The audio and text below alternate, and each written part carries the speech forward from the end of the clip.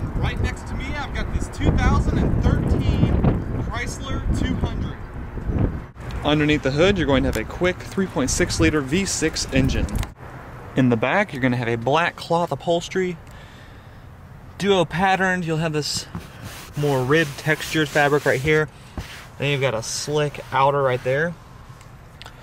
Seats three back here. Pull this down, seats two, with an armrest and two cup holders and a power window. On the driver's door, you're going to have power mirrors, power locks, and power windows, the driver's window being automatic. You're also going to have power seats.